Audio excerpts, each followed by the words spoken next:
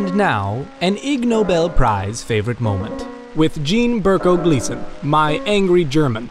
One year, I gave the welcome, welcome speech in what we call my angry German. And it was recorded and on the internet. And the next year, one of the winners was actually a German from Germany. And after the after the show was over, he came up to me at the party and he said, "So where are you from?" And I said, what, what, what do you mean? He said, Well, I was surprised you didn't speak in German. Where in Germany are you from? And when he asked me where in Germany I was from, and I realized that an actual German thought that I was German, that really made my day. That's the best thing ever that a German from Germany thought I was German.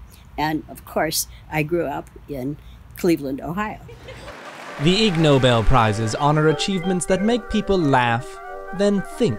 This historic Ig Nobel favorite moment video stars Jean Berko Gleason, who delivered the traditional welcome welcome speech in many Ig Nobel ceremonies.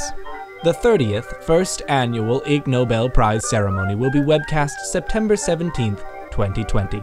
Details about the Ig Nobel Prizes can be found at www.improbable.com. Ich kann nicht Deutsch sprechen heute. Es ist zu schwer.